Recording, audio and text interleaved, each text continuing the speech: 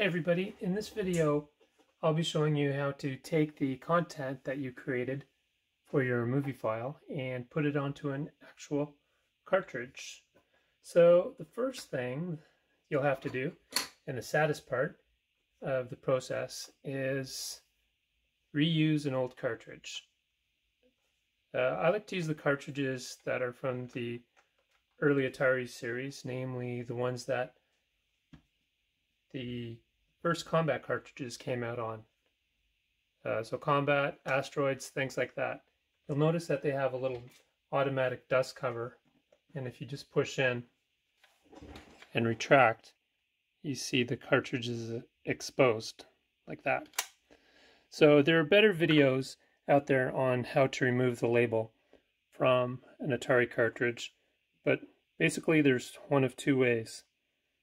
If you feel with your finger, you'll see a little indentation in the middle where a screw hole is.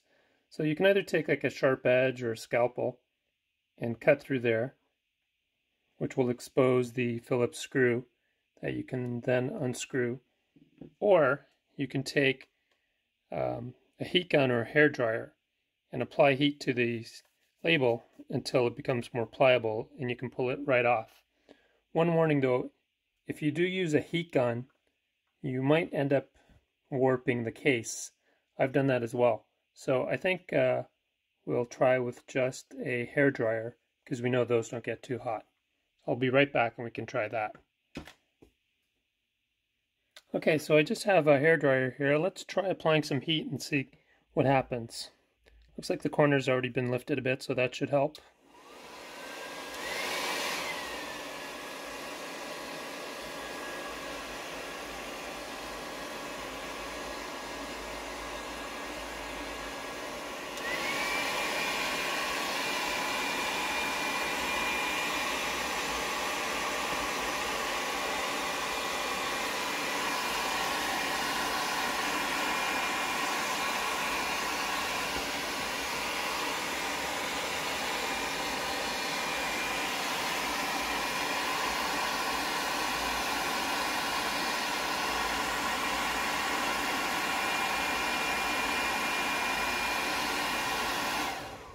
Right, I'm not sure if that did anything, but let's give it a try. It's pretty dry. Oh, yep, that, it's coming right off. That's amazing. So if you're like me, you can save the label. I don't like to throw anything out because they're not making any new ones. So I'll just stick that on a shiny surface for now. You can see it came out in one piece. That's beautiful. Now, we'll, oh, you can even see some of the lettering under there. It says asteroids. So we'll try the same thing for the uh, name.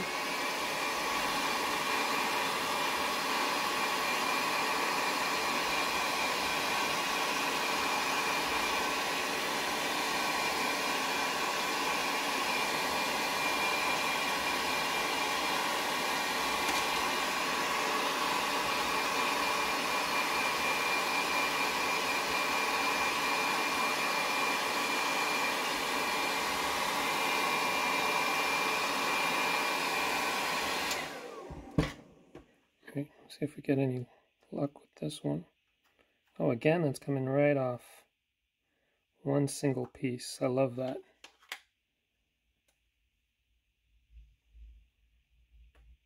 Okay, now this is the tricky part. Oh, first, we'll use a screwdriver. See if I have one handy. Yep. And there's the Phillips screw. Just undo that.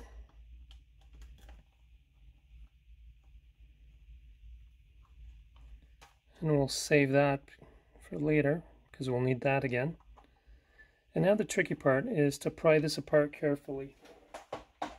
There's a couple of tabs, if I recall, around here and here. So you got to squeeze in the bottom part, the thin side. Helps if you have something like this, like a thin wedge. iFixit. Find these come in handy. I'm just going to play with this a minute, see if we can get it. Oh, actually, the bottom side comes out, I believe.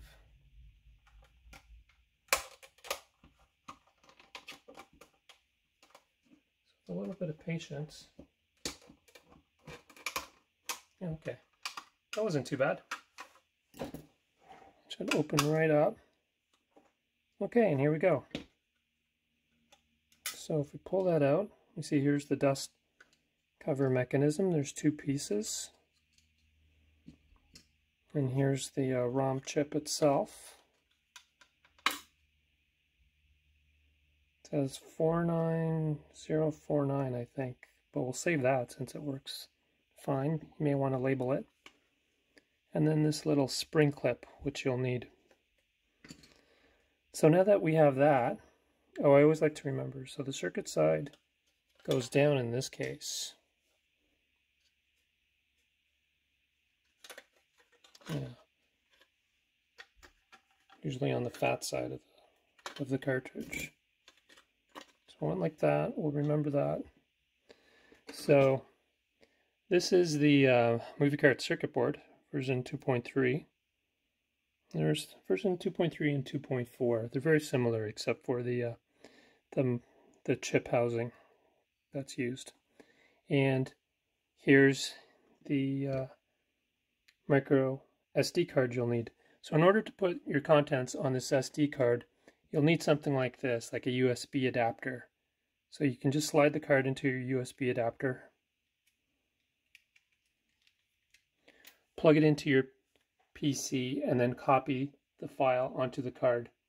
So make sure that there's nothing else on the card because the movie cart circuit We'll just look for the first file it finds and try to play that. So if you have other files on there, it may not work. And also for best performance, it's best to format your card beforehand. So that will make fast forwarding and rewinding a lot smoother if the USB isn't fragmented. So basically you put it in there, stick this in your PC and copy the file over. So once it's done, you can insert it into your card and you can see it snaps in and out. So now this goes where the uh, movie cartridge, or where the uh, Atari ROM cartridge went. So one thing you may have to do, so you see it snaps right in there. Um, you may have to increase the size of this hole a little bit depending on the uh, diameter of the post on your cart. So I think it just fits, so I didn't want to make it any bigger than necessary. But if it doesn't fit, you may have to just get a file or some sandpaper and increase that diameter a little bit. Um, and depending on what your goals are, you may have to cut out a little slot right here where the SD card sits. So you can just put a piece of masking tape there and measure it out and cut it out. Personally, when I make a movie cart, I like it. I like to make it dedicated for one specific movie, so that it doesn't dispel the magic with an SD card in modern 21st century technology. So once that's in, the next tricky part is putting these pieces back in.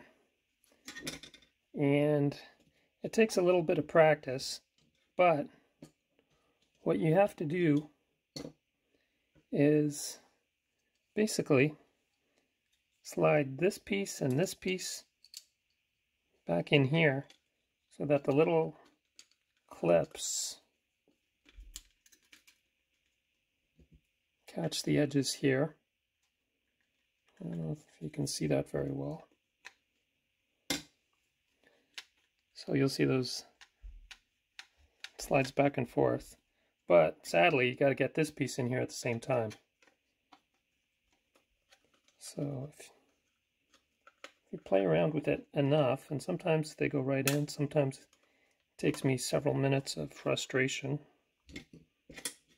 to get it in. But you should be able to get it back in. And sometimes it's easier too if you hold this piece open. Just one sec. Sorry I'm back, just a little cat emergency, but she's okay. So, um, actually before we stick this in, I should mention that these covers are very sticky. So what I like to use to remove them, stuff like uh, Goo Gone and isopropyl alcohol. I just put in a little sprayer here. Mine is 99%, but I think uh, less should work too. One warning, do not use acetone. I learned that the hard way. Acetone just melts stuff. Melts plastic, so don't use that. Goo Gone is nice. And isopropyl alcohol. And I just use like an old toothbrush and just spend a lot of time rubbing it all off. So that being said, let's see if I can uh, stick this thing in here or not. So if I do this, and then I lower the dust cover, and I stick this in here, oh, we might be in luck. So this part works. It's retracting. And then I just have to make sure to line this part up. And looks like it works. So let's see if the post uh, will fit in that hole now. Ta-da! Looks like we got the card in there. So I just like to lower this and make sure the dust cover is retracting. And it looks good. So we'll want to put the screw back in there.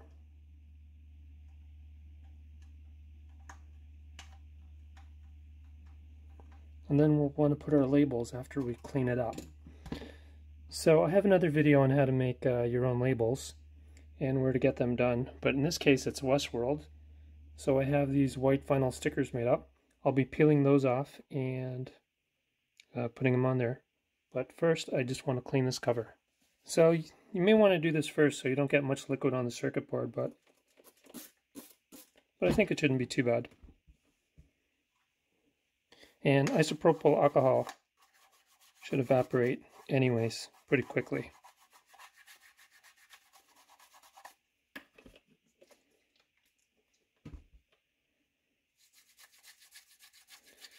So it seems to be coming off. You can I can feel with my finger it's not as sticky as when I first started.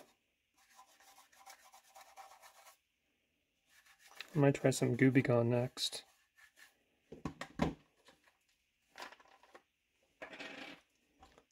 We love this stuff at home. Had the same bottle for years, but it's great.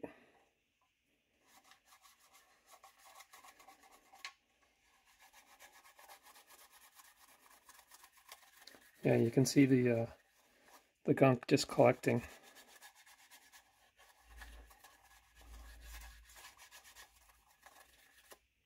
Yeah, it's not sticky at all anymore. Wonderful. Try to get all the corners.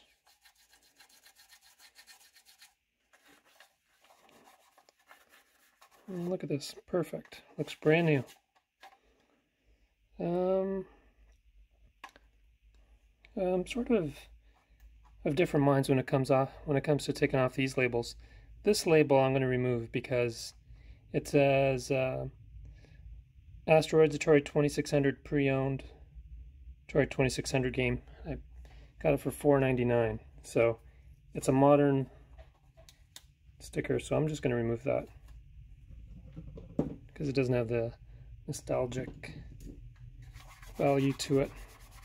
But if it's at something like Kmart or or Walmart or Zayres or Zellers or whatever store you're familiar with growing up, definitely would have stayed. Okay, that looks pretty good. Let's try that out. So you may want to use some IPA to get off the Gooby Gone.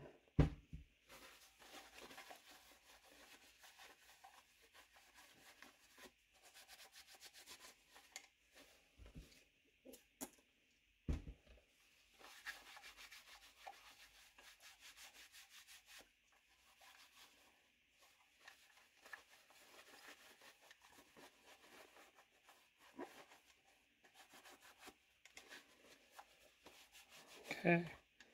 And I like to let it just naturally evaporate for a moment or two. Just make sure there's no residue left under the sticker. One thing that may be useful is to get a real cartridge just to make sure you're not putting the stickers on backwards, which isn't fun. So let me just grab a real cartridge, be right back.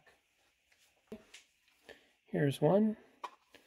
Uh, there's a there's a funny story about these. These are uh, cheap knockoffs that were sold in a Canadian discount store of real Atari cartridges with, with just uh, made up artwork and made up titles.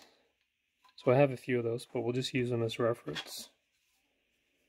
So, if we line them up, then we know exactly how the label should go. So you'll want to do this carefully. So, I'll just try this. Peel these off if I can. not the easiest. There we go.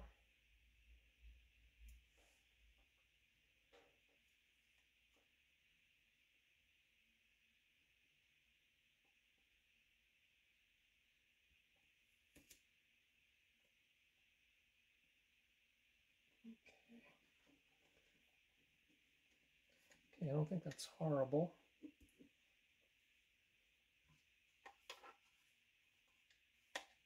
but it will do. Now for the main sticker, this time it goes right side up.